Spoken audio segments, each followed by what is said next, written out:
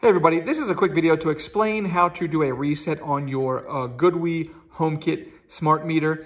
Now, it seems sort of obvious you're gonna press the reset button, but actually depending on how long you press the reset button, um, this is gonna change what it actually does. So there's a couple different resets that you can do on here, depending on what you've got going on. So if you have a communications issue, if you press the reset button for less than three seconds, this will just reset the communications module in case you need to troubleshoot the communications. Now, if you want to actually reset the meter, um, you can just hold this reset button, but don't hold it for three seconds. You're gonna continue to hold it past three seconds.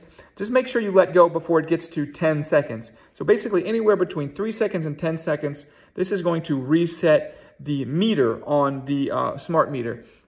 And then finally, if you hold this for longer than 10 seconds, this is going to reset everything, all of the settings, the meter and all of the settings, everything to a factory default setting like the way it was when it came out of the box.